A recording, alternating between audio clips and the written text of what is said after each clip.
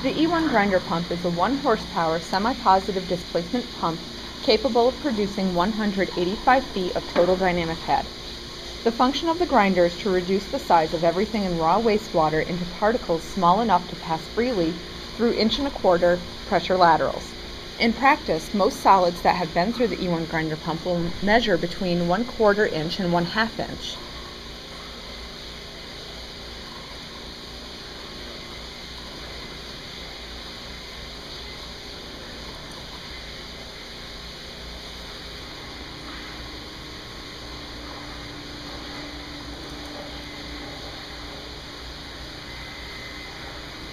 The E/One grinder pump has the lowest flow rate and the largest entrance diameter of any pump in the industry.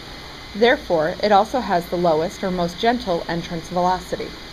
A jammed or blocked E/One grinder is virtually unheard of, but it is commonplace to find centrifugals that have been starved for flow because the intake is completely blocked by a disposable diaper, for example.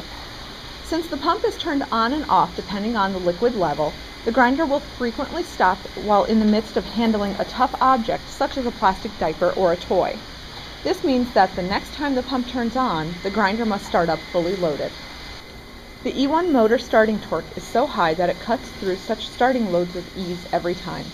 These characteristics, namely gentle upward flow, high torque motor, and the fact that solids need not be ground immediately, but can make multiple passes through the grinding zone, account for the reputation that E/One stations enjoy.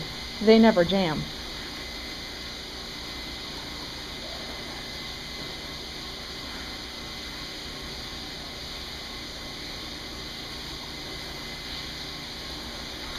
The claim is often made that a big centrifugal 2 horsepower pump running at 3500 RPM is twice as powerful as the little 1 horsepower 1725 RPM unit offered by E/One.